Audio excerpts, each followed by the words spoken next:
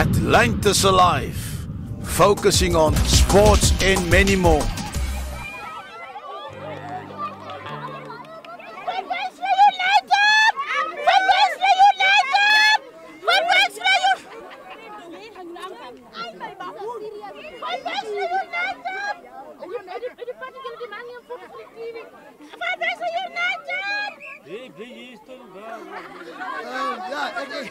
Hey, bly hier stil waar. Ja, ek ek ja. Daar begin. Dit was 'n baie harde wedstryd.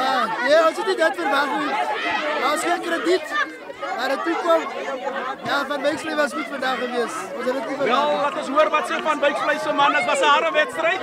Ja, na die einde het dit 'n bietjie, dit was bietjie gestres, maar ons moes net kalm bly en deurde. Ja, dit is 'n harde wedstryd gewees. Wat is jou mening van die spel? Ja, die man het so 'n bietjie laat tekens en goed op my gemaak, maar ook was 'n lekker wedstryd. Ons het dit Dit geniet. was 'n tabbe, dit was 'n tabbe game die sweet loop. Ja, jou ja, mening ja, oor die ja, Nee, wedstryd? ek het hom lekker lekker geniet.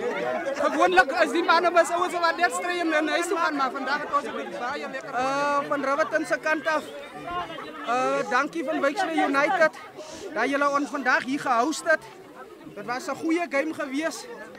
Ons waardeer julle altyd. Julle weet mos ons is hier artsvyende van mekaar. hier. Die band wat ons gebou het oor die jare is 'n baie goeie band. En uh nogmaals geluk vir julle vir die game wat Dankie vir my manne, hulle het gewen. Our destination. Ook baie dankie sê vir uh, Priska Rivertons dat hulle ons kom speel het. As jy aldag wat ons hierdie tipe rugby speel hierdie. Dit is hard hier. En uh, ons is gewoond hierdie rugby. Ons is nie gewoond daai gras daar in die burger.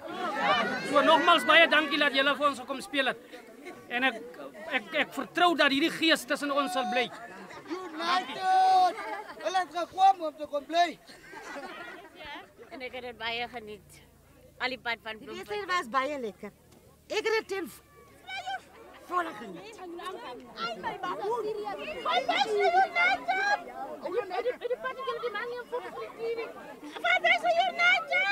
Hey, bly hier stil waar.